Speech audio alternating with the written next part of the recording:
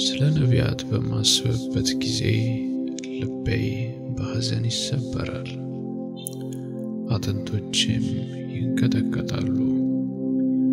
ከእግዚአብሔር ከቅዱስ ቃሉ የተነሳ በወይን ጠጅ እንደተሸፈነ ሰካራም ሆኛለሁ።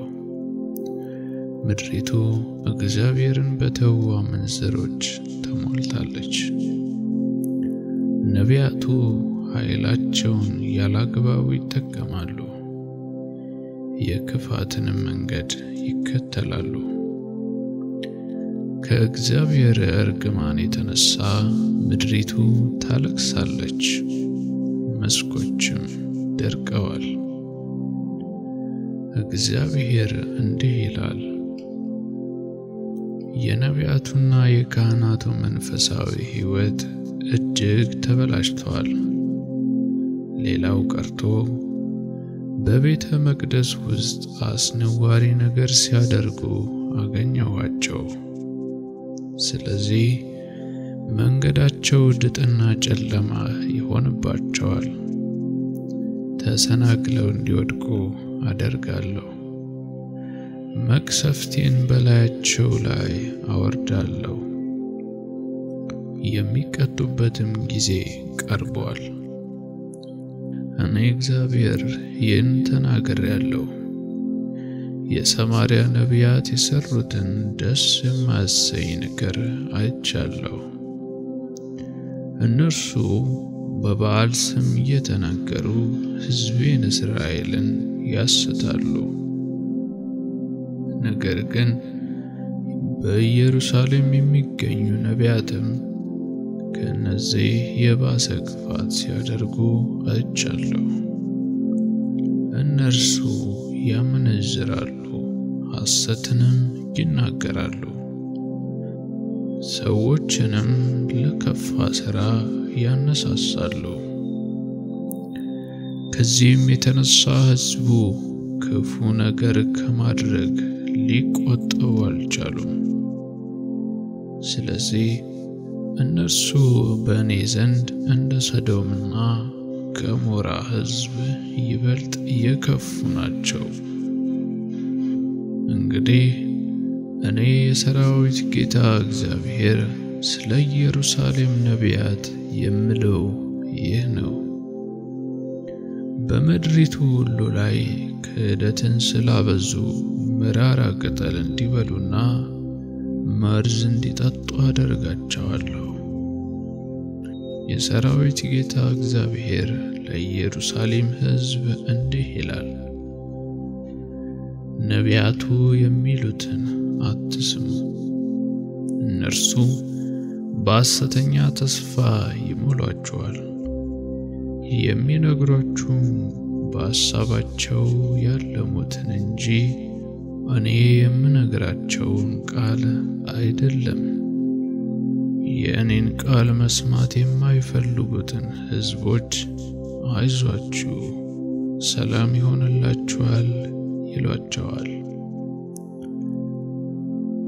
እልከኛ የሆነውንም ሁሉ አይዞ፣ ምንም መቅሰፍት አይደርስብህም ይሉታል።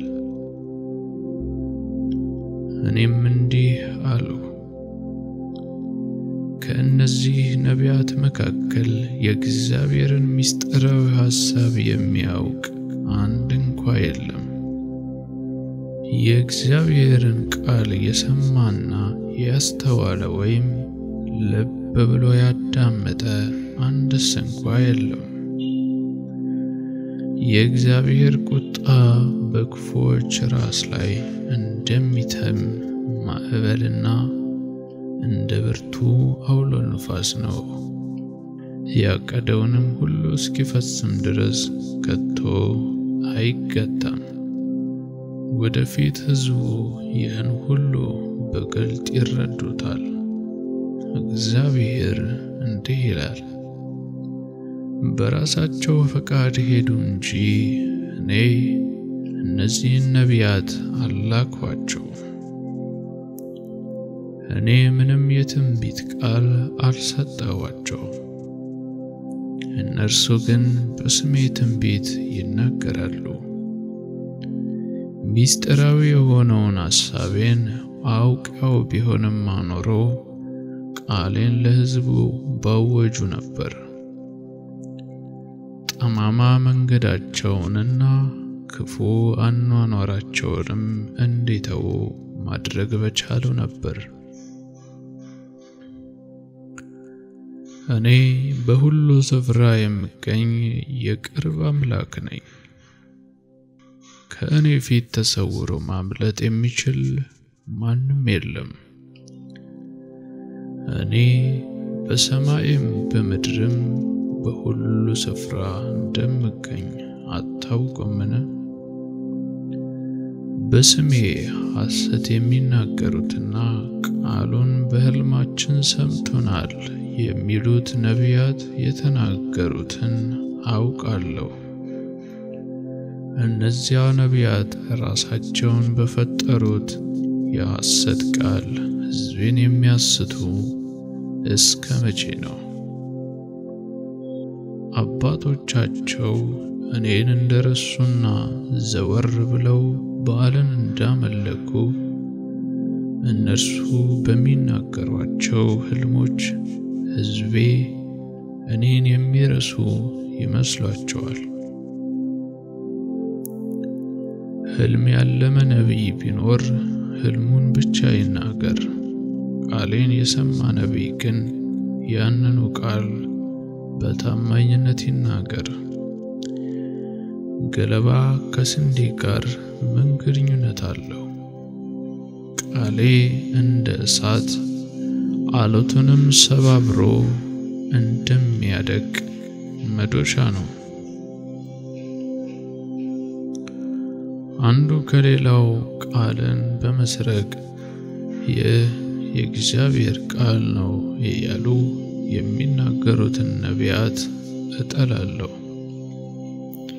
እንዲሁም ከራሳቸው አመንጭተው እየተናገሩ ይህ የእግዚአብሔር ቃል ነው የሚሉትን ነቢያት እቃወማለሁ። እነሆ እኔ እግዚአብሔር የምለውን አድምጡ። በሐሰት የተሞላ ሕልማቸውን የሚናገሩ ነቢያት እጠላለሁ።